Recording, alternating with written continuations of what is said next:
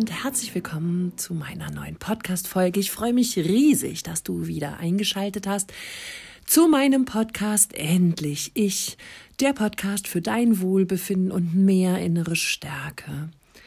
Ich bin Katja Demming, psychologische Beraterin und Mentorin für innere Stärke und ja, ich habe es mir zur Aufgabe gemacht, Menschen aus ihren toxischen Beziehungen herauszuholen und sie zurück in ihre innere Stärke zu bringen.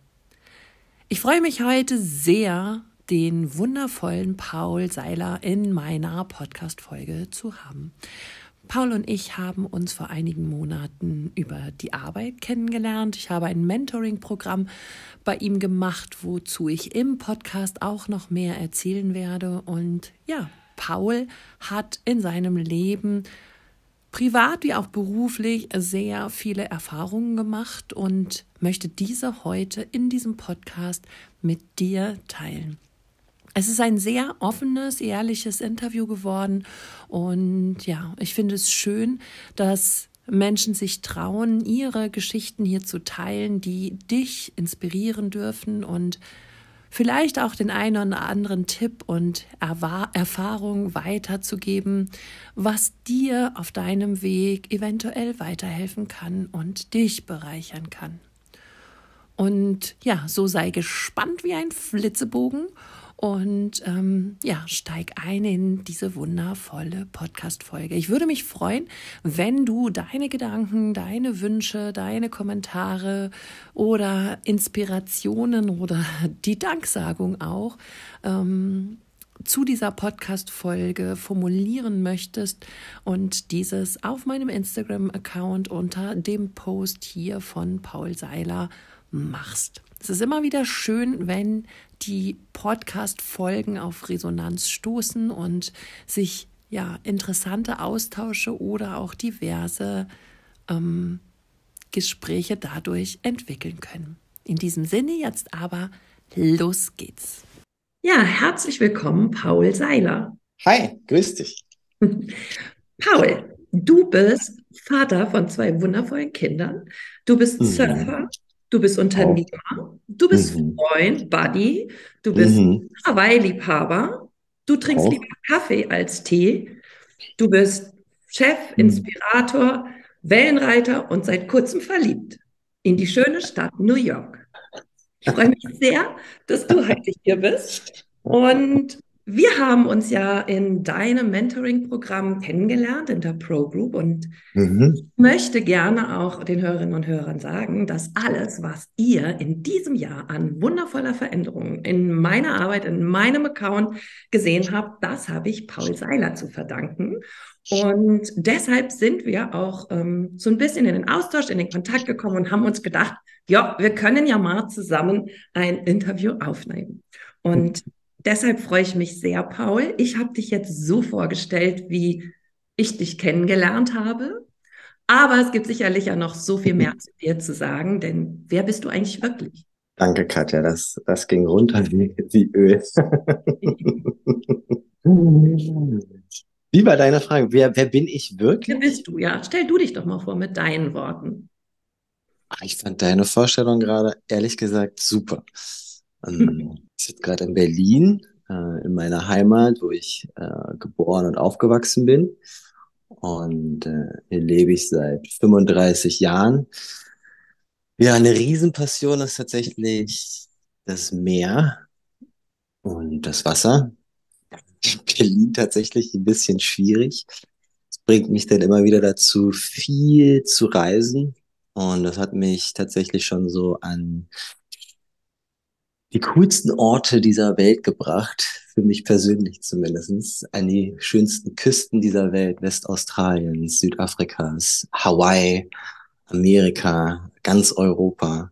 Und ähm, auf diesen ganzen Reisen habe ich sehr viele inspirierende Menschen kennengelernt, sehr viele Freunde gewonnen. Und ähm, das ist ein großer Teil, wo ich meine Inspiration herschöpfe, um mich täglich auch zu motivieren, wo ich mich reindenken kann, wo ich ähm, viel, viel, viel einfach für mich und äh, alle um mich herum immer wieder mitnehme. Ja, schön. Kannst du sagen, dass es einen krassen Moment oder ein krasses Erlebnis auf dem Meer oder an diesen inspirierenden Orten oder durch die Leute gab, wo du sagen würdest, total mich verändert, geschiftet oder inspiriert, beeinflusst? Fällt dir da spontan was ein? Da gibt es eine Top 10, würde ich sagen. es gab so viele Momente, die so einprägsam waren. 27. Dezember 2016. Da hatte ich einen Flug von Berlin nach Doha, Kapstadt gebucht. Drei Monate lang Südafrika. Das war, nachdem ich bei meiner E-Commerce-Zeit bei Foodspring damals äh, gekündigt habe, mein Studium, mein Abendstudium, was ich nebenbei noch laufen hatte, fertig hatte und dachte so, jetzt ist noch mal Zeit, noch mal drei Monate zu reisen. Und zwei Tage vorher rief mich ein guter Freund aus Heidelberg an und sagte so, aber Paul, wir machen hier einen Roadtrip, vier Wochen lang, Westaustralien. Willst du dabei sein? Und ich dachte so, fuck, ja, okay, aber ich habe jetzt drei Monate Südafrika gebucht ich rufe bei Katar an und sage, sag mal, fliegt der Flieger auch nach, nach Perth, Westaustralien? Und die so, ja, können wir Sie umbuchen, das ist kein Problem, nehmen Sie einfach eine andere Maschine. Ich so, okay, alles klar. Na gut. Gemacht, getan. Mein Flug quasi von Doha umgebucht nach Westaustralien. Setz mich in Flieger. Schlimmster Flug überhaupt, ja. das waren irgendwie so zwölf Stunden lang von in, in, so einer, in, in so einer Riesenmaschine, aber alle, alle, alle Fenster unten und irgendwie war ein riesiger äh, die, die Zyklop nennen die das ja, äh, äh, Zyklop auf dem Meer und die Maschine einfach neun Stunden, zehn Stunden lang einfach nur gerüttelt bis zum geht nicht, weil ich dachte nur so, fuck, was macht's hier? Und komm dann aber wie man sieht oder wie man hört, auf jeden Fall sicher in Australien an. Und dann haben wir uns so einen Camper zu dritt gemietet und sind dann tatsächlich die ganze Westküste ähm, äh, lang geknallt. Ähm, sind dann zwölf Stunden Richtung Norden gefahren in so ein Surfcamp. Also Surfcamp in Anführungsstrichen. Das war, da war weit und breit nichts. Das war mitten im Nirgendwo, so wie man sich das vorstellt. Narraloo, der ein oder andere kennt das vielleicht. Ansonsten kleiner Geheimtipp einer der schönsten Wellen Australiens. Und ich habe so ein kleines Problem mit Schlangen tatsächlich. Und äh, komme da in diesem, in diesem Ort an. Und das Erste, was ich sehe, ist einfach so ein riesiges Schild mit den sechs tödlichsten Schlangen, die in diesem Camp leben. Und wir waren schon zwei Stunden lang, hatten wir, waren wir unterwegs in so einer Sandwüste und hatten kein Handysignal, gar nichts. Und vor Ort war ein kleines Häuschen, ein schrottiges Auto und ein Toilettenhäuschen. Das war's. Die haben das dann irgendwie auf der Karte noch eingeteilt, dass die erste Reihe, wo man in seinem Camper stehen konnte, da waren so ein paar Steine aufgestellt, um die Plätze zu markieren. Das haben die dann Hiltons genannt, ja. Die teure Reihe, ja. Hat dann irgendwie 25 Dollar gekostet. Ja. Und die dahinter hat dann irgendwie 10 Dollar gekostet. Und überall im Sand siehst du nur diese Schlangenspur. Ich dachte, das ist so fuck. das ist der pure Horror. Und ähm, ja, aber es hat sich gelohnt. Am nächsten Tag lief da eine der schönsten und längsten und größten Wellen Australiens. Und äh, ich kann mich noch gut daran erinnern, wie ich mit meinen Freunden erstmal nur so ein, zwei Stunden lang einfach nur aufs Meer geguckt haben.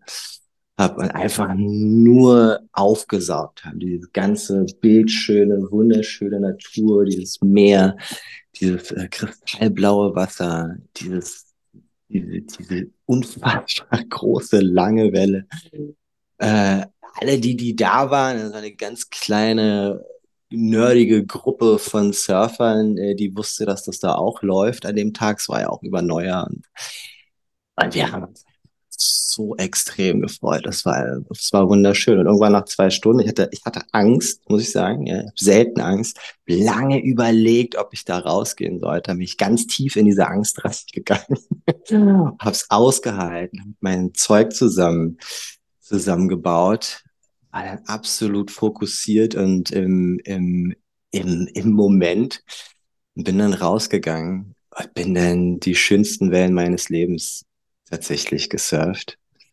Und äh, das war, das war ein sehr, sehr sehr, sehr inspirierender Moment in dem Moment für mich. Der, der hat viel, viel mit mir gemacht. Das war, das war, das war, das war toll, ja. Ja, das glaube ich. Gehst du seit diesem Moment anders mit der Angst um? Mm, ja, gehe ich, im, auch wenn ich auf Maui beispielsweise bin. Und Maui ist tatsächlich reines Big Wave Surfen. Und wenn man sich das dann immer anguckt, so von den Felsen, dann merkst du auch, dass du, wenn du da reingehst, da gibt's keinen Beckenrand oder so. Ne? Da gibt's dann überall Haie, da ist ein scharfes Riff, da sind, äh, sind heftige Strömungen, riesige Steine. Und du weißt auch so, okay, wenn du da reingehst, dann musst du auch immer dafür sorgen können, dass du da auch selbst wieder rauskommst. Mhm. Und eins habe ich gelernt, dass wenn man wirklich Angst hat oder wenn man sich nicht so fühlt, dann bleib einfach draußen, mach was anderes an dem Tag. Und das sind die Momente, wo du was falsch machst und wo du dich verletzt. Geh immer mit Respekt an die Sache ran, ja, aber niemals mit Angst. Und manchmal ist es gut, auch in die Angst reinzugehen, zur Angst zu werden, sie auszuhalten und dann durchzugehen. Hm. Ja, sehr schön, wunderschön. Du hast gerade was ganz Tolles gesagt, das habe ich direkt mal mitgeschrieben. Und zwar ähm, hast du gesagt, wenn du da reingehst, musst du dir sicher sein, dass du auch selbst wieder herauskommst. Ja.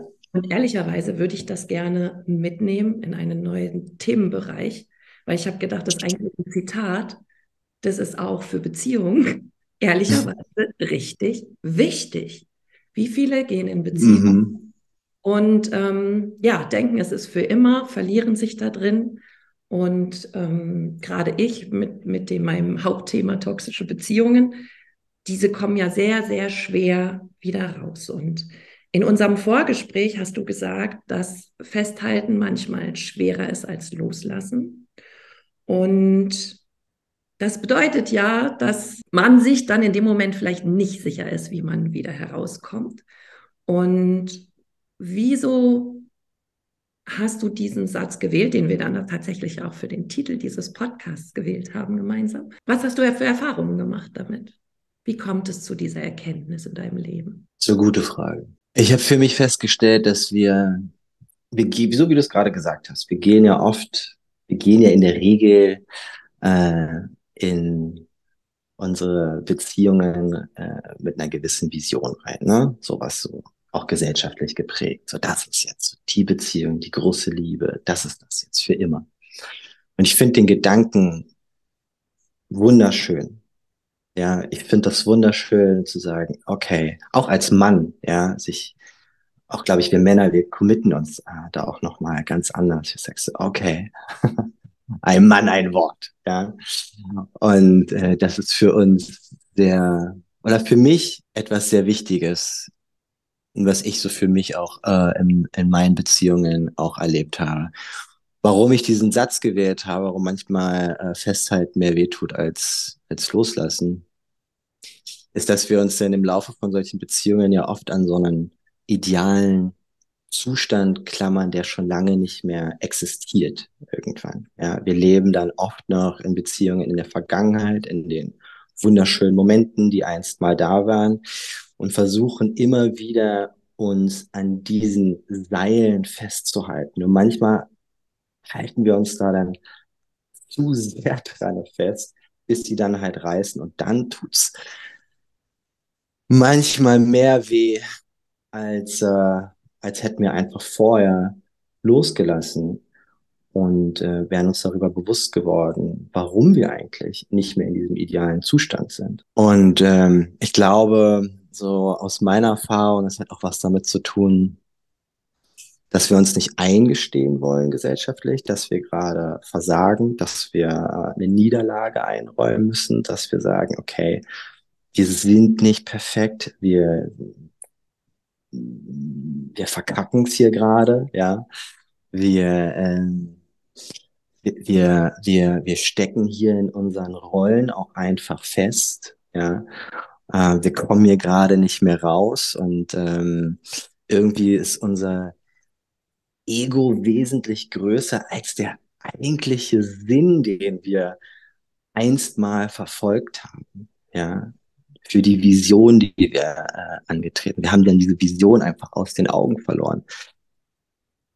Und irgendwie schafft man es dann nicht mehr, diese Konzepte abzulegen und auch nicht mehr aus diesen Rollen auszubrechen. Und ich habe lange in den Beziehungen dann versucht, aus dieser aus diesen kontextuellen Rollen, die wir dann irgendwann halt annehmen, auszubrechen, um wieder auf Augenhöhe zu kommen, ja, um dieses Gefälle dann, was dann irgendwann entsteht, ja, ähm, dann, dann wieder abzulegen, wie so einen Reset, ja. Ich weiß mal, so, so, so, so einen weißen Kreis wieder zu, zu bauen, ja, indem wir neutral wieder irgendwie uns gegenüber in die Augen gucken können und dann einfach den Menschen wieder in uns gegenüber sehen, ohne diese ganzen Fehler oder alles, was so drumherum ist, ohne diese ganzen Kleinigkeiten, die eigentlich keine Rolle spielen in dem Moment. Ja, und wenn wir das, wenn wir da zu lange dran festhalten, dass wir glauben, dass wir das halt schaffen,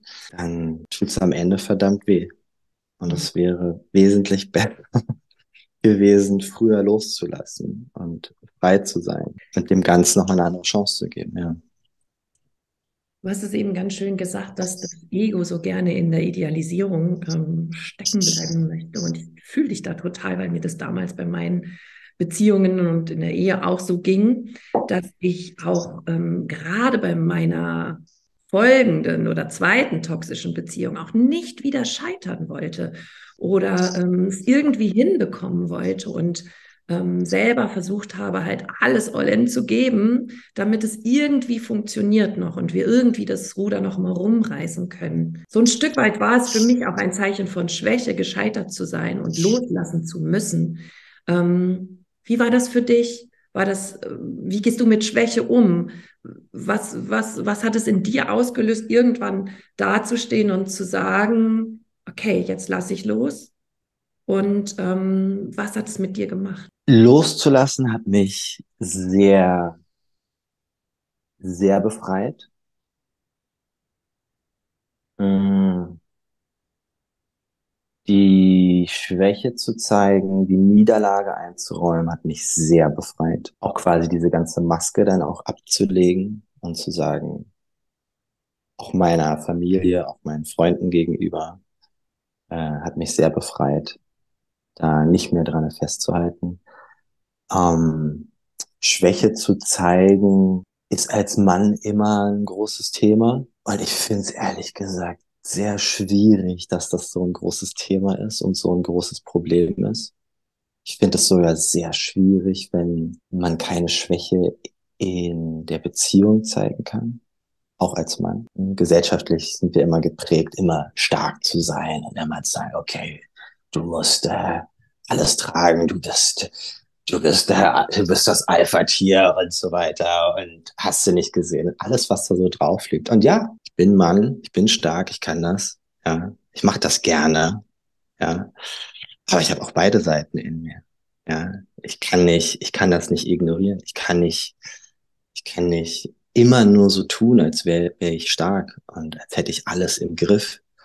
Und ich finde so gerade in, in Beziehungen, gerade wenn es um, gerade im Zusammenhang mit Intimität, und ich glaube, das wünschen sich viele Männer, insbesondere ich habe mir das immer gewünscht, dass man in diesem intimen Bereich, ja, also in dieser Intimität, die man aufbaut zwischen, zwischeneinander, dass man da auch seine Schwäche zeigen kann, ohne den Respekt zu verlieren.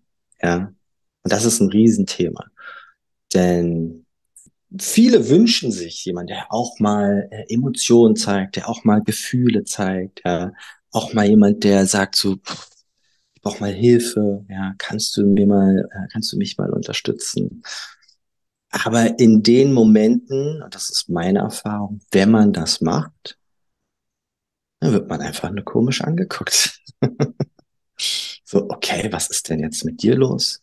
Bist du ein Psycho? Nee, kann ich nicht, ja, musst selber können und so weiter. Und das sind natürlich dann, sind so die Momente, wo man wo man sich nicht mehr wohlfühlt dann ne, in Beziehungen. Und ich kann, ich kann auch nur jeden irgendwie ermutigen, da auch jeden Mann irgendwie von vornherein irgendwie äh, mit offenen Karten zu spielen, ja. Das heißt jetzt nicht, dass man jetzt hingeht und sagt so, ey, übrigens, ich heule auch jeden Tag oder so. Ganz und gar nicht, ja. Aber auch einfach zu sagen, hey, ich habe übrigens auch alle Gefühle, ja. Und äh, ich bin nicht jeden Tag äh, ähm, laufe ich mit einem breiten Kreuz und einer breiten Schulter, ähm, mit einer breiter Brust, so rum, irgendwie durchs Leben, sondern all das im Leben, was so passiert, macht auch was mit mir. Und ähm, ich denke mir dann immer, also wenn ich es meiner Partnerin nicht erzählen kann, wenn ich es meiner Partnerin nicht teilen kann, wem denn dann?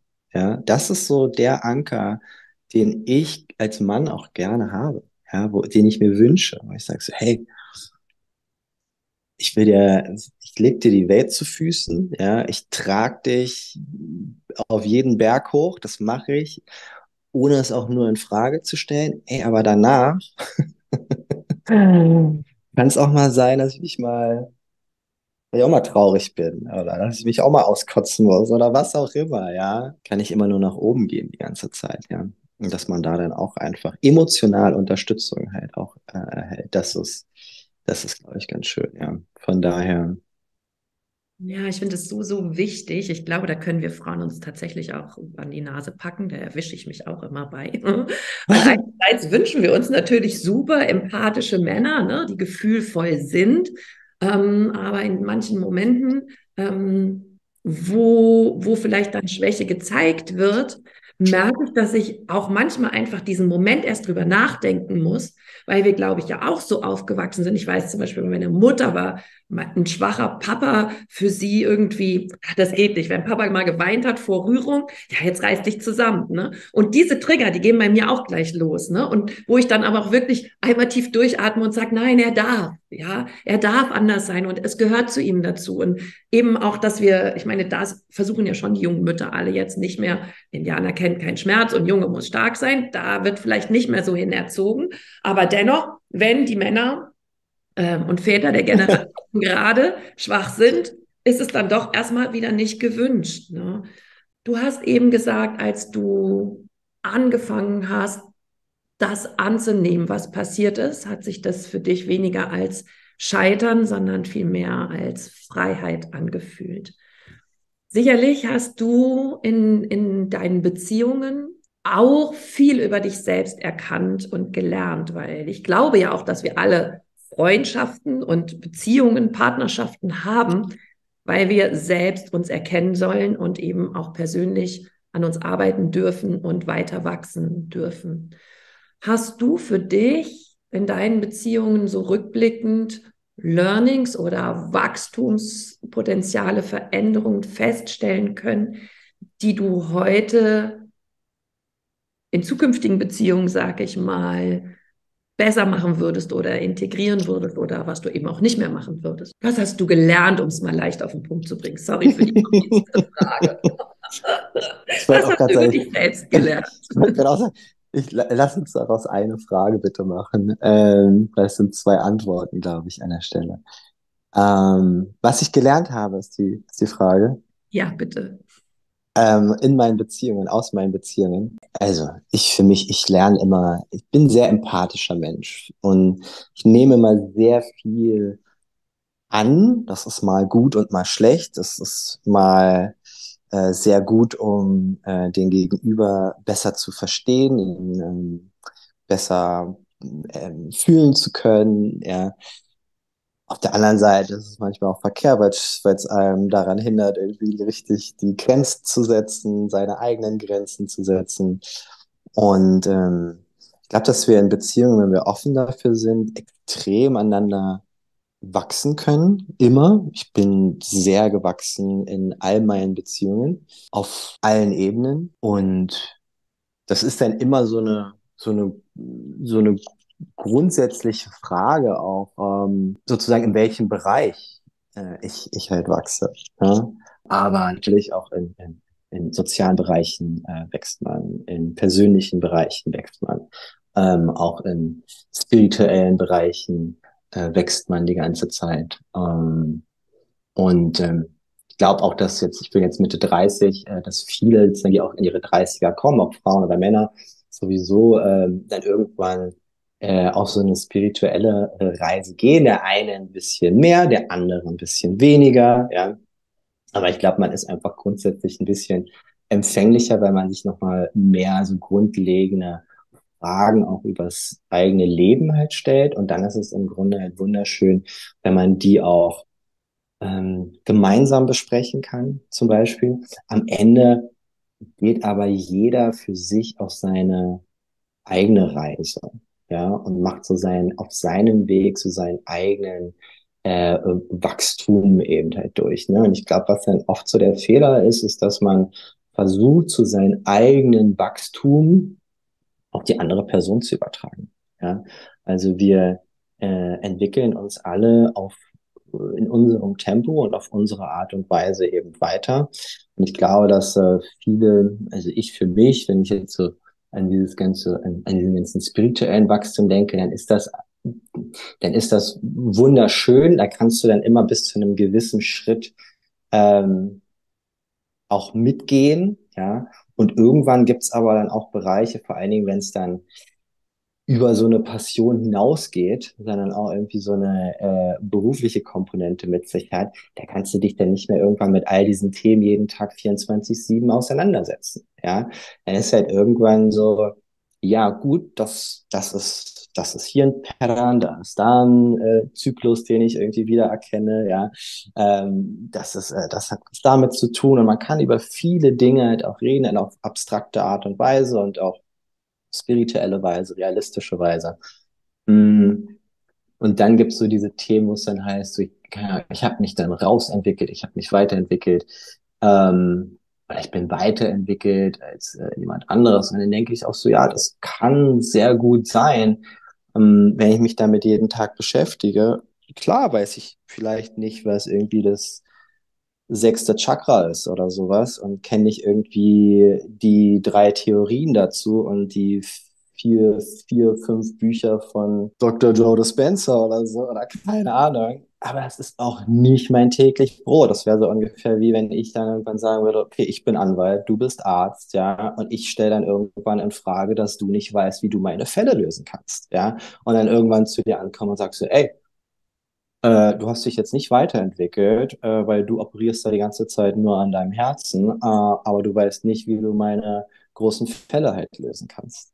Ja.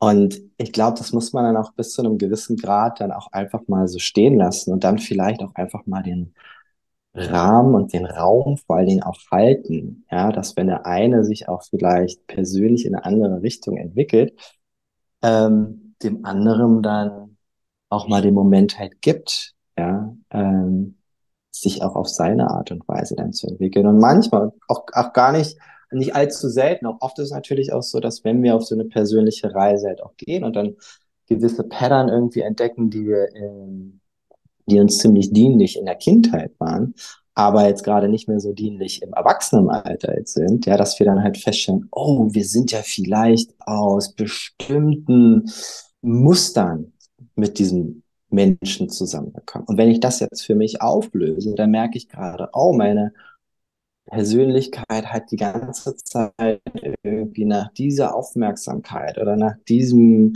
nach, nach dem und dem irgendwie gelächzt und das war einfach nur da, um irgendwie wieder irgendein Loch zu stopfen. Und ähm, dann stellen wir vielleicht irgendwann fest, dass es das vielleicht auch nicht mehr ist. Und das ist auch total in Ordnung. Und dann muss man auch mal irgendwann diese das, das dann auch, auch, auch wieder loslassen kann. Ja. Beantwortet das die Frage so ein bisschen? Ja, sehr gut.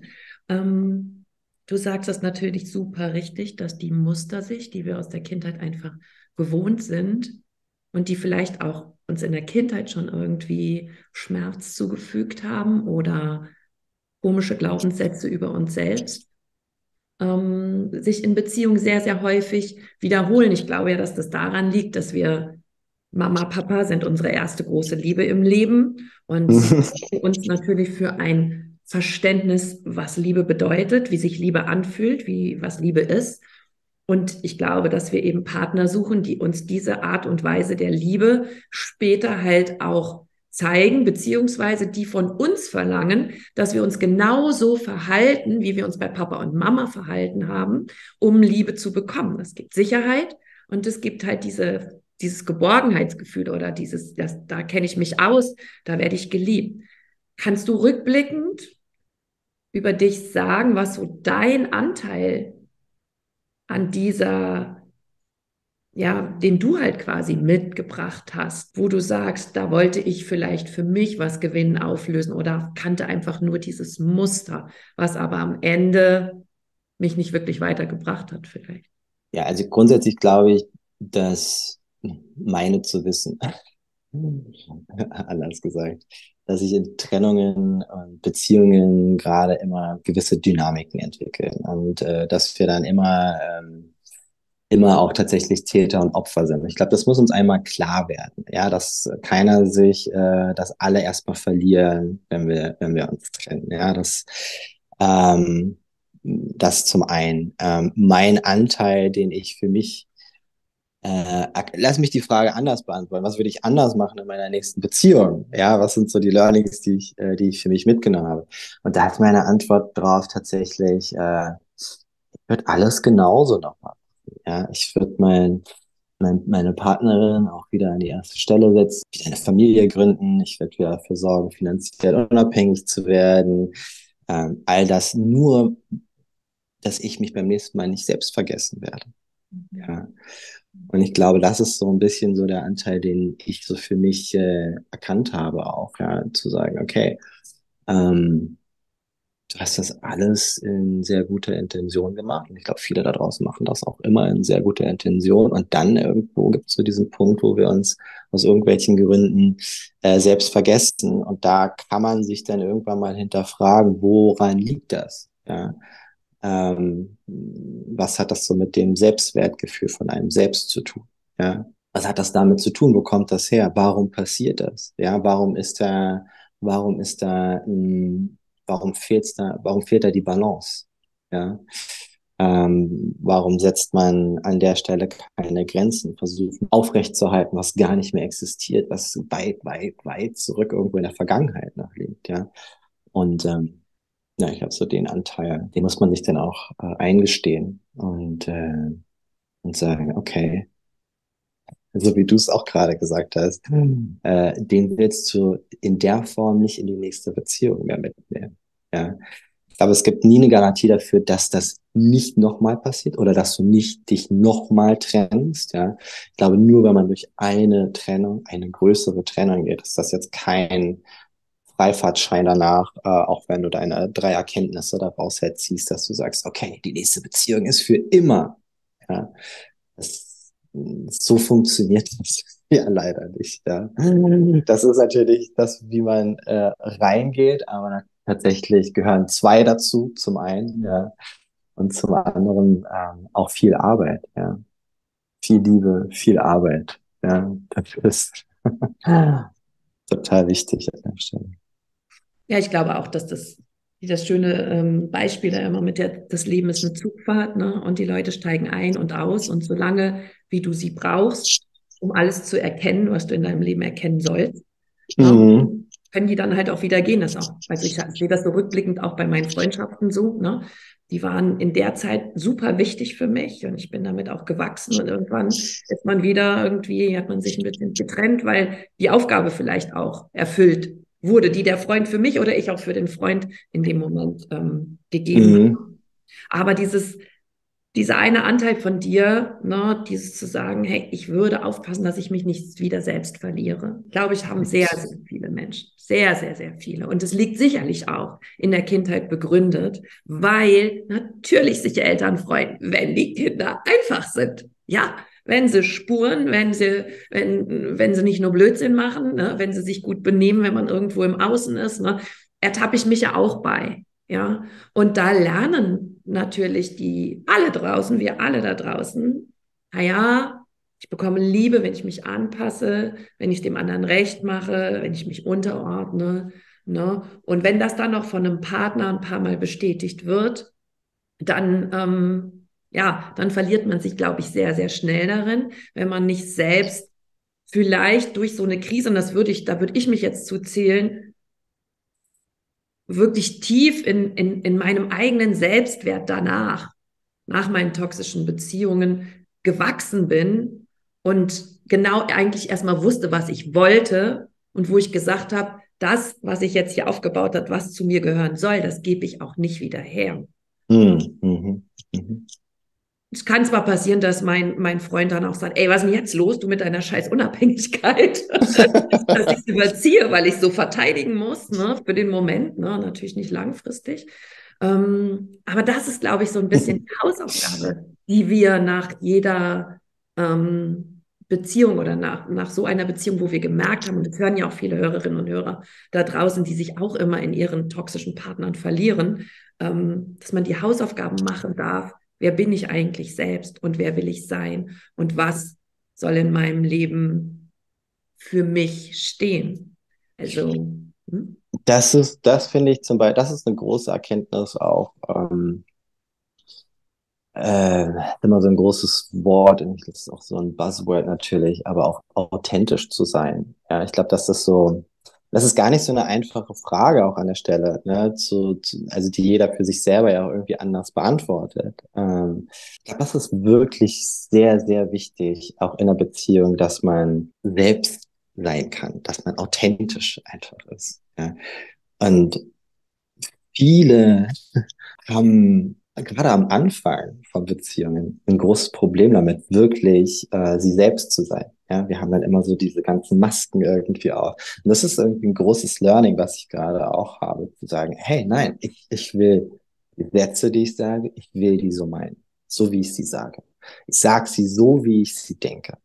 Ja, wenn das jemandem nicht passt, okay, dann finden wir gerade schnell heraus, dass wir an der Stelle auch nicht weitermachen sollten. Ja, weil worauf ich keine Lust mehr habe, ist irgendjemanden etwas vorzumachen, jemand zu sein, der ich eigentlich gar nicht bin, nur damit das in dem Moment irgendwie zueinander passt. Ich war jetzt in, ich war ganz, äh, ich habe einen Freund in New York getroffen, Chris, und äh, ich meine, ich habe ihm so geschrieben, ich so, hey du, ich bin nur in New York und wir haben uns vor zwei Jahren mal in Hamburg auf einer Hochzeit getroffen. Er ist Indexbanker an der Wall Street. Ich habe ihm per WhatsApp geschrieben, ich so, hey Chris, ich bin in New York und so, was machst du die Tage? Und er sagt so, ja du, ich gehe morgen, gehe morgen zum Yoga hier am St. Martins äh, äh, Park. Und ich sag so, okay, alles klar, ich komme. Und äh, wir sind dann da mit dem Fahrrad hin über die Brooklyn Bridge und völlig verschwitzt komme ich in diesem Yoga-Studio an. Wunderschön, kann ich übrigens empfehlen. Drop-in-Class 10 Dollar, um mal kurz Werbung an der Stelle zu machen.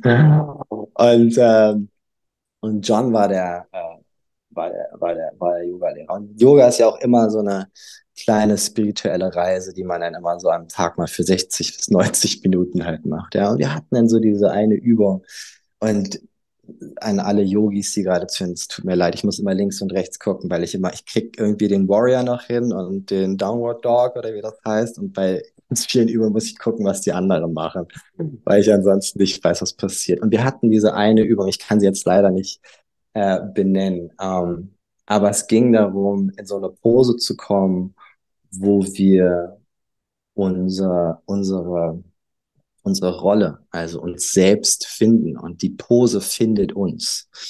Ja, und ähm, alle saßen da irgendwie wie so Rosen, wie so, wie sagt man, wie so, wie so, wie so Blätter irgendwie auf den, auf den Matten und haben irgendwie alle so ihre authentischste Pose gefunden, äh, gesucht, ja.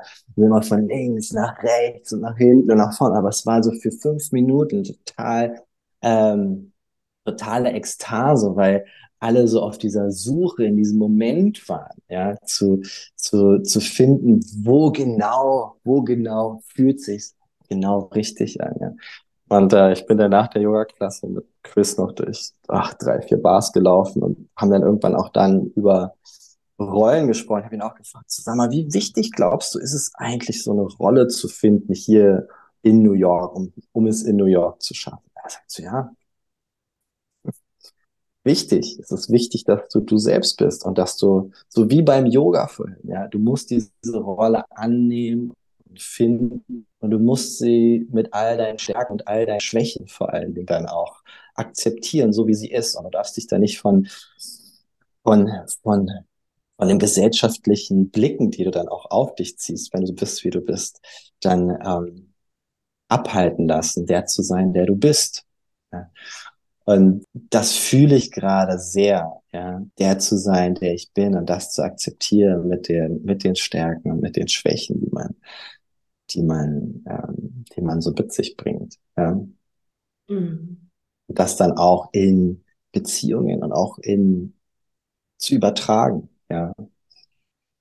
Ja, wir müssen uns natürlich wieder überlegen, warum. Eigentlich ist es ja das Einfachste der Welt, wir selbst zu sein und authentisch zu sein, aber wir trauen es uns halt nicht, weil wir schon im Voraus denken, jemand anders könnte das nicht gut finden oder der Partner findet es nicht gut.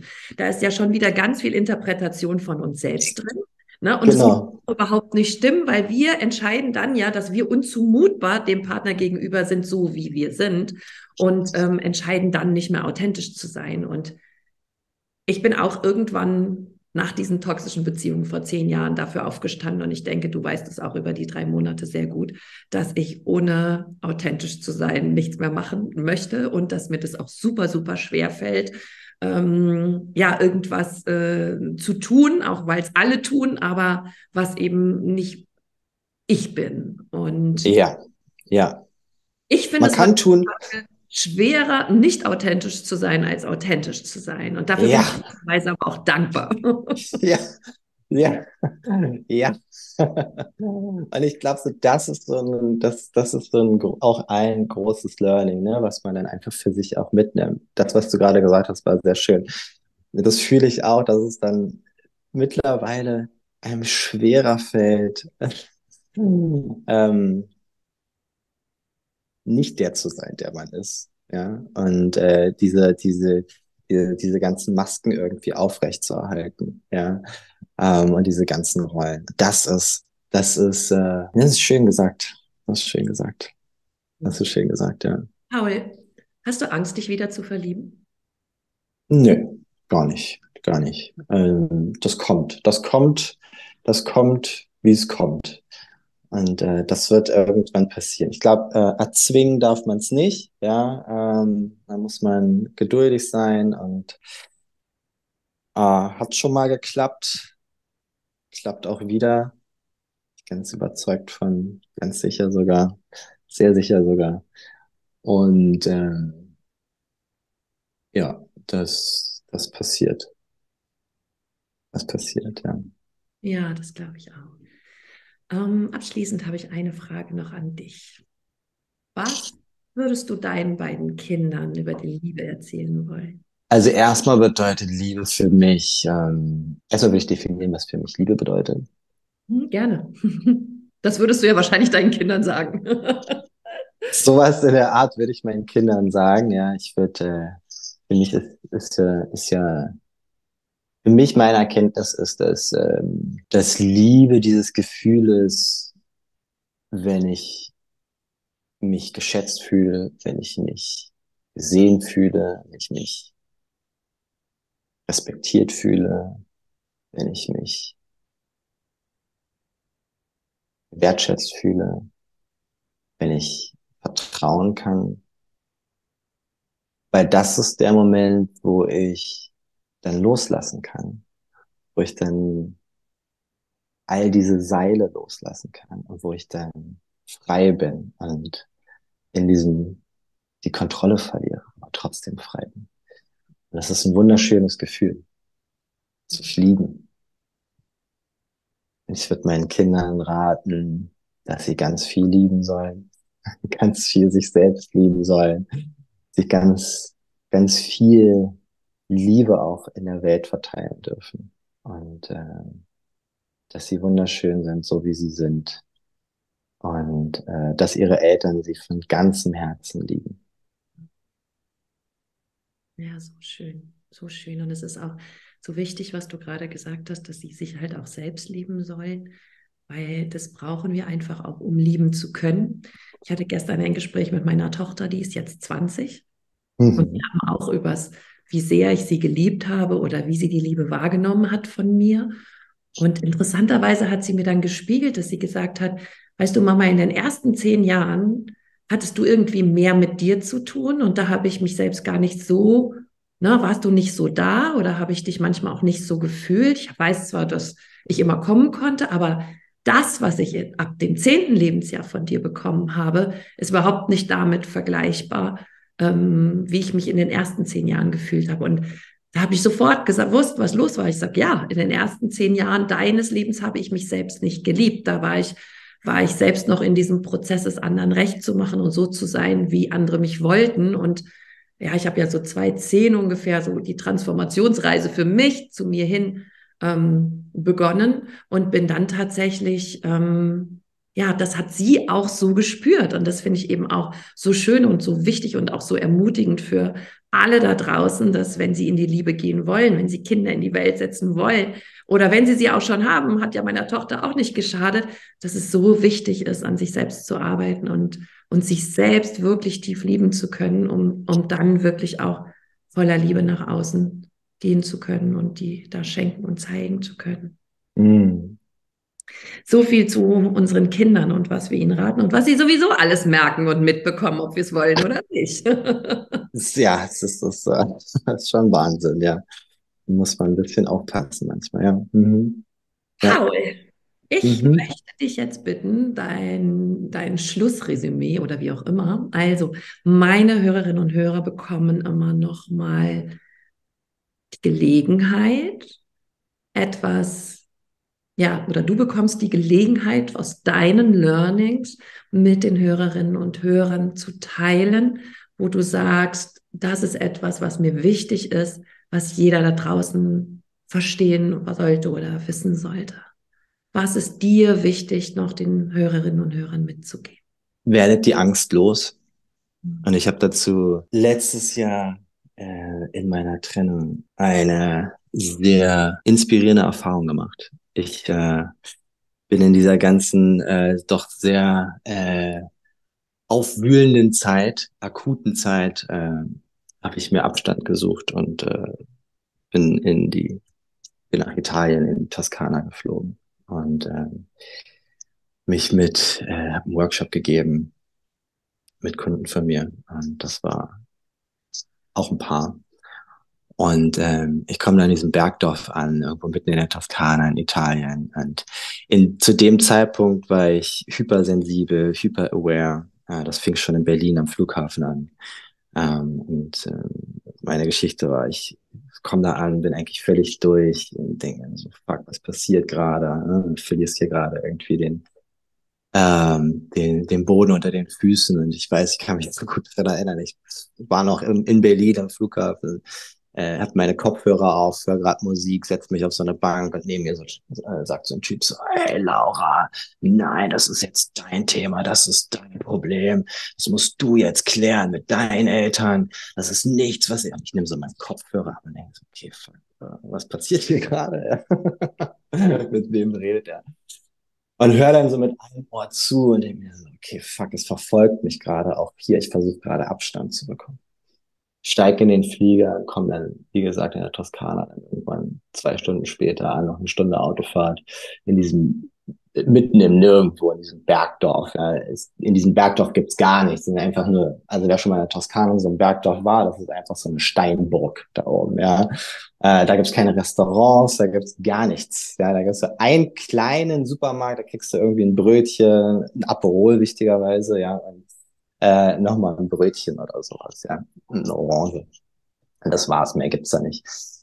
Und ähm, setze mich da dann auch auf die Terrasse und dann gibt's in diesem Bergdorf dann überall so kleine äh, Schächte, die dann irgendwie in diese in diese Wohnungen, in diese Burgwohnungen dann irgendwie in diesen Berg reingehen, ja, dass die dann irgendwie in irgendwelchen Küchen dann auch noch mal Luft haben, wo keine Fenster eigentlich sind.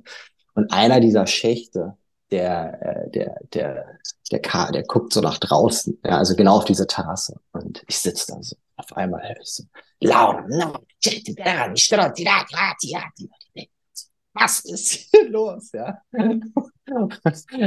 Was, streitet sich so ein, äh, keine Ahnung, 80-jähriges altes italienisches Paar, das irgendwie ihr ganzes Leben schon zusammen gewesen ist, ja, so ein 80-jähriger Opa mit seiner 80-jährigen Frau halt, ja. Und äh, es verfolgt mich immer noch. Ja. So, und wir sitzen da, wir sitzen da die ganze Zeit, haben einen super Workshop, äh, 35 Grad, ja, sitzen aber unter so einem äh, so Weinblättern und so weiter, ja. Und äh, irgendwann kriege ich so mit, dass es auch da so eine gewisse Dynamik gibt und plötzlich wird mir wie so ein Spiegel äh, vorgehalten, ja. Äh, sie erfolgreich, er Geschäftsführer und, und so weiter. Ja? Und auf einmal gehen diese Diskussionen los. Und äh, Diskussionen, die ich kenne, ja, Diskussionen, die ich, äh, Dialoge, die ich nur zu gut kenne, ja, aus meiner eigenen Erfahrung. Und es war so wertvoll in dem Moment, das zu sehen, ja, in diesem Konstrukt, das war so irgendwie wie jetzt die dritte Person zu sein und von außen auf meine Beziehung nochmal. Es war eine ganz neue Perspektive. Und ähm, wir hatten super Tage, sind zum Meer gefahren. Wir haben viel äh, ausgearbeitet und sind echt ein paar Schritte weitergekommen. Und an einem Abend haben wir gesagt, okay, wir gehen jetzt mal essen ähm, in so ein anderes Bergdorf, da sind ganz tolle Italiener und so weiter. Und kurz bevor wir losgehen, sage ich so, ey, wisst ihr was, wir lassen die Handys einfach. Und ich nehme mein Handy, pack das einfach so auf den Küchencounter. Und äh, der Mann äh, nimmt auch so sein Handy, so zack, legt es so da drauf. Ja, ja, machen wir. Und wir fahren dann äh, zu dem Italiener äh, ins benachbarte Dorf und haben einen super Abend, ganz tolle Kulisse. Wir sitzen da irgendwie in so einer, in so einem Brunnen. Äh, uns wird äh, Pasta, Wein, äh, alles Mögliche serviert. Das war wirklich toll, ne? So wie man sich das kennt, wie man das kennt irgendwie. Der, der Kellner kommt an, die kommt die Mutter an und so weiter und alle legen dir neue Sachen hin, der Nachbartisch schenkt dir Wein aus seiner Flasche ein und das ist irgendwie total toll und Familie. Und wir haben ganz tolle und tiefsinnige Gespräche. Und so nach drei Stunden haben wir irgendeine bescheuerte Frage. Was passiert? Fast forward. Sie holt ihr Handy raus. Und ich gucke sie sagen, ich so, ah, wir hatten noch eine Abmachung. Und er und ich, wir gucken uns nur so aus dem, kurz in die Augen und für uns ist alles klar in dem Moment. So, egal. Danach waren wir noch auf so einem, sind wir der Musik den Gassen gefolgt, ja, und waren auf so einem riesigen italienischen Festival mit so einer Rockband und alles war toll. Und dann hatte man natürlich das Handy dabei und konnte ganz viele Aufnahmen wieder machen und ganz viel irgendwie dann. Für mich war, ich war einfach nicht schlimm für mich in der Weise. Ich mache da jetzt kein Fass auf, natürlich, ne. Am nächsten Tag, ja, sitzen wir dann wieder in dem Workshop, ja, ähm, leichter Hangout äh, mit viel Wasser und, ähm, und unterhalten uns. Und dann irgendwann gingen wieder die Gespräche los. Dann irgendwann kippten diese Dialoge von den Professionellen dann wieder ein bisschen ins Private, die Diskussion ging wieder los. Und dann hieß es auch immer so zwischen mich so, ja, aber du musst mal gucken, hier und so funktionieren wir Frauen und so weiter. Und dann habe ich irgendwann gesagt, stopp. So funktioniert das nicht. Und ich erzähle jetzt was. Gestern hatten wir eine Abmachung getroffen. Gestern habe ich in den Raum geworfen, bevor wir losgegangen sind, dass wir die Handys zu Hause lassen. Wir haben alle zugestimmt, sind alle losgegangen ohne Handys. Wir hatten einen Pakt. Und bei Männern ist es so, dass wenn wir sagen, ja, machen wir, dann schmieden wir in dem Moment eine Allianz. Wir machen das. Wir machen das einfach. Und ihm war klar, in dem Moment, wo er Ja sagt, dass er dieses Ja auch so meint. Er hätte auch einfach Nein sagen können. Und jetzt ist meine Frage an dich. Warum hast du Ja gemacht, aber dann doch anders gehandelt? Die erste Antwort war, ja, irgendwie, das fand ich war eine doofe Idee von dir, Paul. Und ähm, dann habe ich dann im letzten Moment dann noch äh, irgendwie durchs Gitter gegriffen und habe mein Handy noch mitgenommen, weil fand ich irgendwie nicht so. Okay, verstehe ich, vollkommen legitim. Aber warum hast du Ja gesagt und nicht Nein? Ja, äh, ja, weil, ähm, ja, weil ich fühle mich, ich habe mich dann irgendwie besser gefühlt. Okay. dann habe ich gemerkt, okay, wir kommen jetzt ein Layer weiter runter. Ne? Wir kommen jetzt ein Layer tiefer. Das war bis jetzt nur Nebel, ja. Und dann habe ich gefragt, okay, das verstehe ich und das ist auch in Ordnung. Aber warum hast du nicht einfach Nein gesagt? Und dann kamen wir zu dem dritten Layer. Und beim dritten Layer hieß es, ja, weil ich Angst hatte. Ich hatte Angst, Nein zu sagen. Ich hatte Angst, nicht mit meinem Handy loszugehen. Weil ich mich einfach viel sicherer anfühle. Und dann habe ich sie angeguckt und meinte, es ist okay, fair aber warum sagst du es nicht einfach zu uns? Das ist dein Ehemann, das bin ich.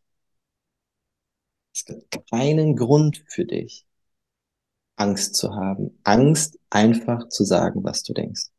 Wir beide, vorne voran dein Ehemann, wir tragen dich auf einer goldenen Kutsche rüber ins andere Bergdorf, beschützen dich mit unserem Leben, führen dich zum Essen aus und haben einen wunderschönen Abend. Es gibt keinen Grund, Angst zu haben in dem Moment. Wir sind für dich da.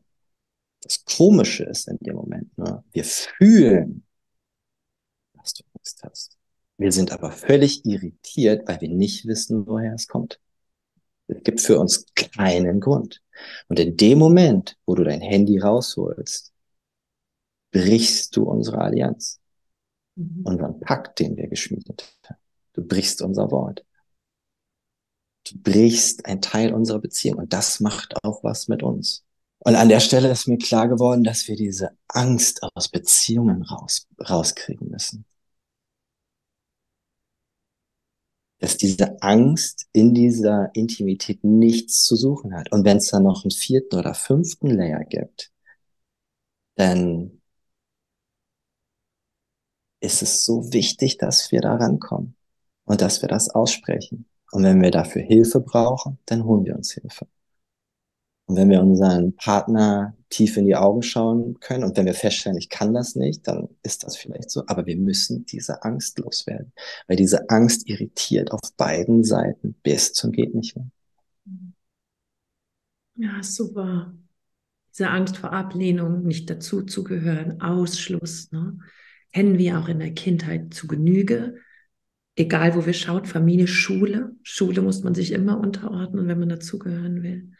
Und ich finde es so schön und auch so tief, dass du ja das hier einfach mal klar machst, dass diese Angst innerhalb einer Partnerschaft nichts zu suchen hat. Und auch wirklich, weil ich muss ja vor Ausschluss, Ablehnung keine Angst haben, wenn ich weiß, der Mensch auf der anderen Seite liebt mich. Sicherlich ist es schwer, aus dieser Angst kurz herauszugehen. Aber um deinen Rat zu erweitern, würde ich denken, traut euch doch einfach mal. Probiert es. Es ist es wert. Ja. Es ist es wert. Keiner, keiner hat gesagt, dass es leicht ist. Hm. Aber dass es es wert ist. Ach, so schön, Paul. Vielen, vielen Dank. Ich glaube, dem Ganzen ist gerade hier nichts hinzuzufügen, außer dass wir wahrscheinlich noch drei Stunden quatschen könnten. Ich fand dieses ähm, Gespräch sehr, sehr inspirierend. Du hast wirklich viele Learnings mit uns geteilt, du hast uns viel über dich gesagt und ich glaube, dass die Hörerinnen und Hörer wirklich auch sehr, sehr viel daraus mitnehmen können. Ich auch. Danke dafür. Und ähm, ja, danke Gerne. für dein Sein, danke für deine Zeit und danke für das schöne Gespräch mit dir. Vielen, vielen Dank auch für deine Zeit. Vielen Dank.